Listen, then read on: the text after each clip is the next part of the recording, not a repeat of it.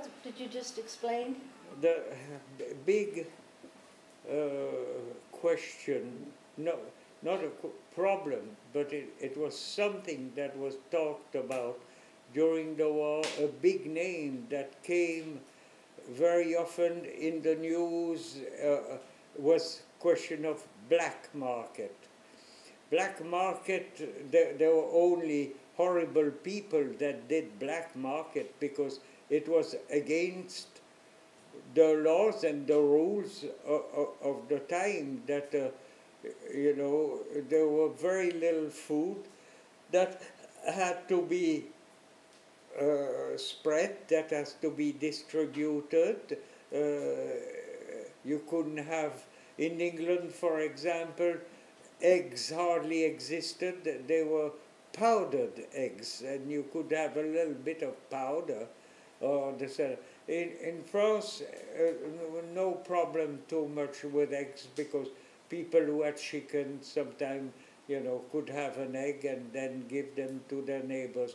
But the question of meat wa- was difficult because uh, meat in general is rolled and it has to be slaughtered. And to be slaughtered, it has to go to what we call a slaughterhouse, an abattoir, where you, you fell down uh, the animal. And from there, uh, the, that meat is, controlled in a way by uh, the veterinarian will come and check it in order to be sure that uh, there is no disease in it, that there is no, uh, very often it was question of tuberculosis that was important. But uh, the running uh, of those things from the country, uh, little animals, rabbits and chickens and poultry, uh, people could go from the town with a bicycle, they could pedal, they could go to uh, and ask the peasant if they could get a little bit of this and that. And sometimes they pedaled back with a, either uh, just a, a rabbit or a, a- a chicken or turkey if they were lucky, or a goose if they were in an area where there were plenty of goose, of geese. And uh, when I realized that, and I needed money to buy the wood to make my boat, I thought the only way my mother refused to give me the money, I thought, okay, we're going to, to make it. Why And, did she refuse you? She said that uh, the, the quantity of money to buy that wood was more than what the maid had for one month of work at the house. So th- there was no question that, uh, you know, I could have that money just for me to build myself a boat. So uh, we started with the, making a little bit of money with the stealing uh, and unrolling the lead that was on top of the roof of the house that I replaced by tin plates, etc. I made quite a lot of money, but uh, that money very quickly got absorbed by uh, buying a few things um, for Did to you keep everybody happy. Did you do that by yourself? Oh yeah, The lead?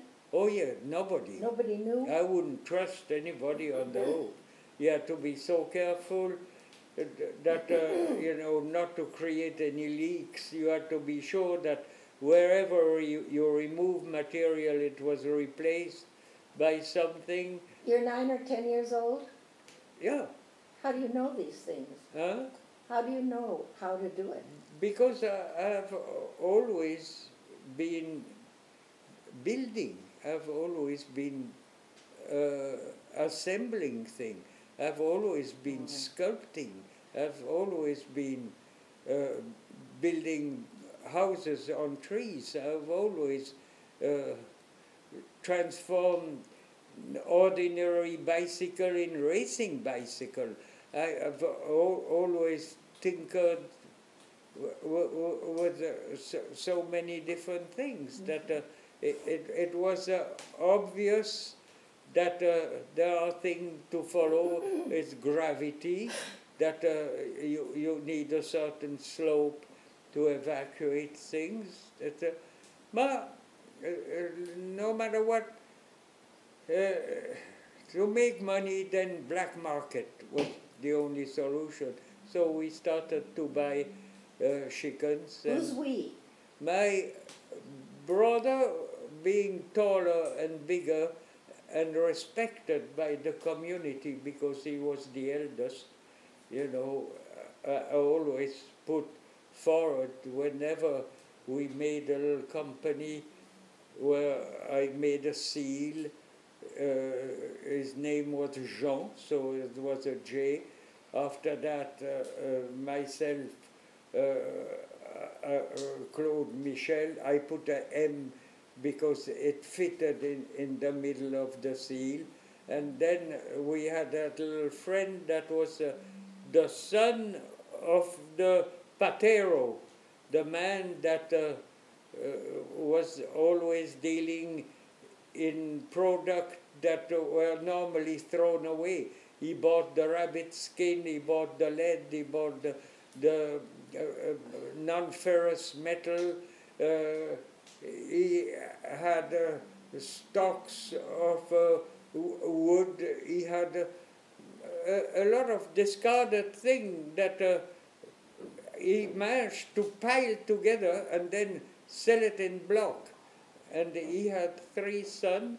He had uh, two sons and a daughter.